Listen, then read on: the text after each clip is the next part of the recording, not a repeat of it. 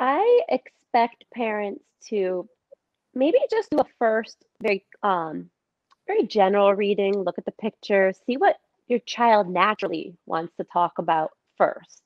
Um, what Mhm. do they notice? I mean, it might depend on their age, um, but just really a very organic, natural read.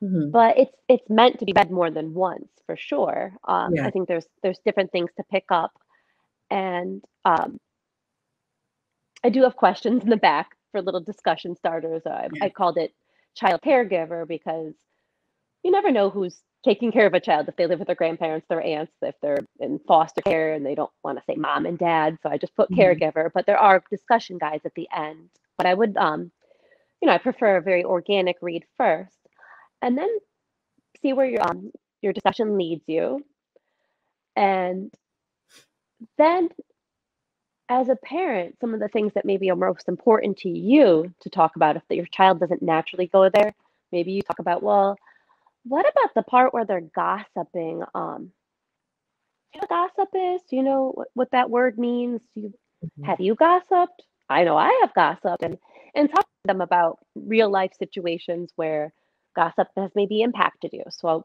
I think the second, the third read, you can really stop and talk about each situation together, and